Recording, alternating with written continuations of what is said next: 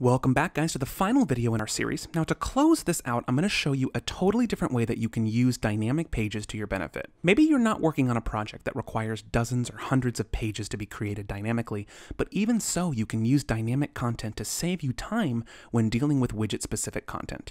This method uses connected data, a feature that preceded dynamic pages actually. Using a combination of dynamic pages and connected data allows you to create dynamic content throughout your site.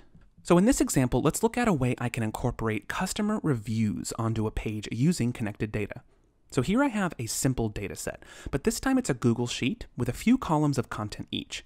We've only got three sample reviews plugged in just for this demo, but of course, this could expand as much as you want. We've got the customer's name, their review, and an image link. So with this in mind, let's jump back to the builder, and I have a sample testimonials page set up here, but just like before, I have a fresh gallery widget just sitting on the page. Nothing here is dynamic yet, but using the information from my dataset, I want to incorporate it into this gallery to display my reviews dynamically. So just like before, our first order of business is to create a new collection. So let's select Content and Collections. And we'll add a new collection, however, this time we're going to select the Google Sheets option. Now to integrate the info from the Google side of things, you just need to sign into the account that holds the Google Sheet. So let me select this. And we get a pop-up with our accounts, and I just need to select the one that I'm using for this.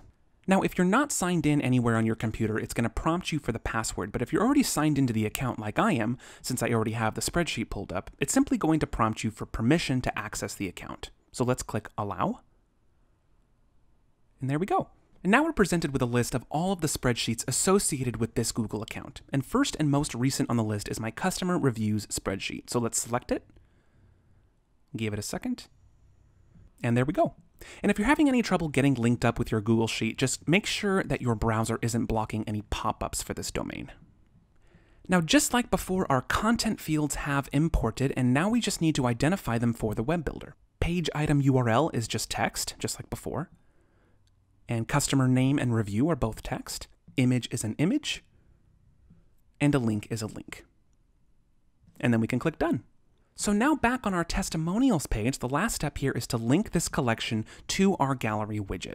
So let's right click on it and select Connect to Data.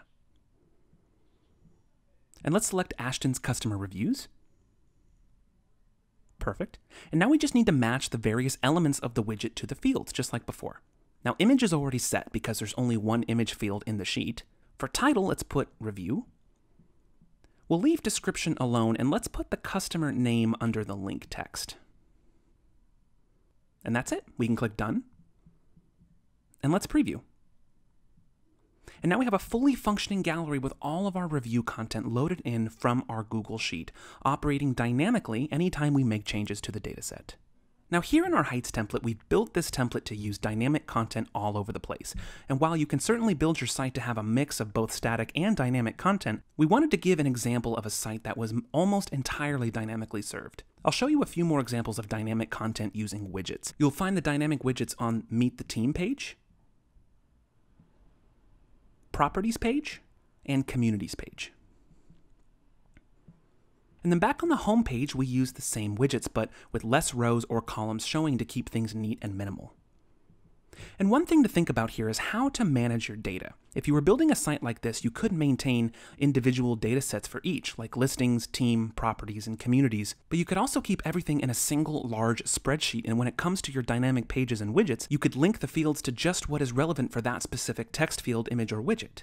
Well, this brings us to the end of the video series. Thanks so much for watching, guys. I hope this was helpful and perhaps inspired you to use dynamic content to your benefit, whether that be on a huge scale of hundreds of pages or even as simple as a single widget management.